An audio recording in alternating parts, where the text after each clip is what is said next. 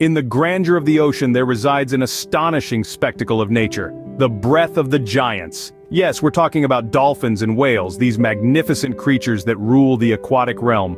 Picture this, a whale, surfacing after a deep dive, exhales a powerful gust creating a geyser-like spectacle, a testament to the colossal lungs within. Meanwhile, dolphins, the acrobats of the sea, inhale and exhale in mere seconds, a rapid rhythm sustaining their energetic leaps and bounds. But here's a mind-boggler. Both these marine marvels can hold their breath for up to 90 minutes. 90. And when they do breathe, it's through the top of their heads, not their mouths. So, next time you watch these oceanic titans, marvel at their breathing wonders, because even a giant's breath holds miracles. This has been your quick dive into the world of dolphins and whales, until next time.